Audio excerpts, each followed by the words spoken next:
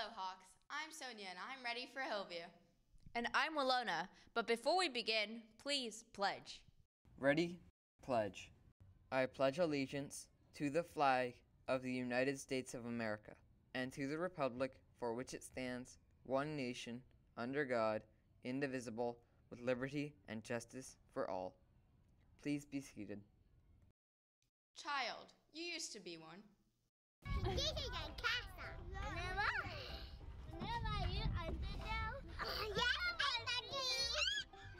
is our Early Learning Center, a local preschool hosted by Oak Knoll Elementary School.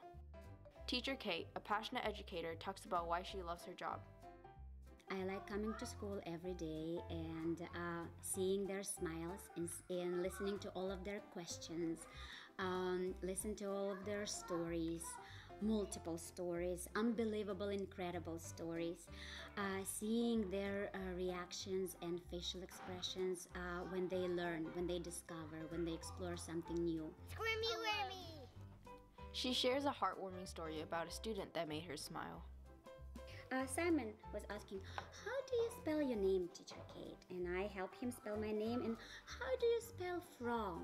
And after that, he um, he put from Simon, Kate, and then he said, Can you read this? I L O M. And I said, I think it says I love. He said, I actually wanted to write I love. And I said, What did you want to say? I love Kate from Simon? He said, Yes. But there is a problem that all preschools in the Bay Area face Here's Eric Burmeister, the superintendent of Menlo Park City School District, to explain. One of the biggest challenges we face is the same challenge that preschools across the Bay Area face, and that is recruiting and retaining high quality, well trained preschool educators. Many preschool teachers believe that this time period is pivotal in a child's education. We're uh, laying the foundation, and uh, besides just playing, we make play very meaningful and intentional. So, through play, they learn about early math skills uh, and strategies, uh, science, uh, early literacy, uh, pre reading, pre writing, art. Um, they learn um, about being a good friend and being a part of the group and uh, we learn about emotions, big feelings, naming them, identifying them, and uh, give them uh, strategies to work on uh, how to contain them or how to express them in a nice way. This preschool teacher shortage will affect preschool students across the Bay Area. Help spread the word and support preschool education. Signing off for HVTV, I'm Willona Chen with Ashlyn Roeder. Thanks, Willona and Ashlyn, for that feature. Healthy, you should be. Healthy habits can prevent sickness, decrease stress, and help you lead a happier life. Here are three healthy habits that can help you take care of your body. The average 12 to 14 year old should get at least 8 to 10 hours of sleep every night.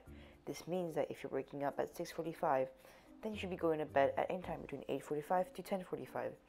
An average middle schooler should get around 5 servings of different fruit and vegetables every day. A serving is about 3 to 4 baby carrots or half a banana. This means that you should have the equivalent of two and a half bananas and different fruits and vegetables every day. As for screens, teens shouldn't be using screens for more than 12 hours a day. This includes the iPads that you may use at school. Using it too much can damage your eyes and make you addicted. Also, the more you use your screen, the less time you spend in the real world. So now that you know some of the ways to stay healthy, you should do your best to implement them into your life.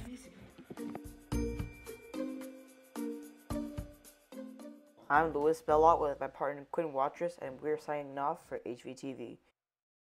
Thanks, Louis and Quinn, for that PSA. Movies, you watch. You've actually never seen a full movie because you've blinked. I read that on Instagram last night.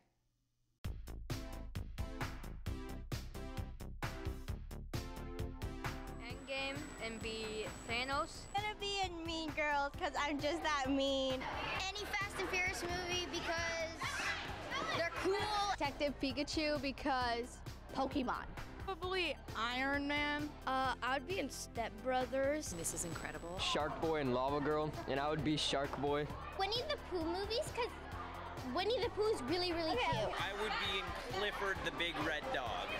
I'd probably want to be in Home because they discover aliens. Jumanji or something because I want like the Rock. Disney movies. They're cool. Cars. Ah, I'd be John Wick because uh, he's cool. Yeah. Diary of a Wimpy Kid. I would be in Avengers Endgame. I'd probably want to be in Endgame because I want to be uh, Captain America because he has like Mjolnir. Definitely be in a Mr. Bean movie. I'd be in the SpongeBob movie because SpongeBob is God. Uh, the, the Karate Kid. All right.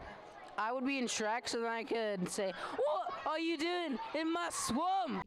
Thanks, John and Drew, for that informative hawk squawk. Well, that's all. Enjoyed HVTV? Joke. What do you get when you combine a rhetorical question with a joke? On behalf of everyone on the Hawk Talk News team, it was a great day. Teachers and students, stay tuned for some extremely special announcements.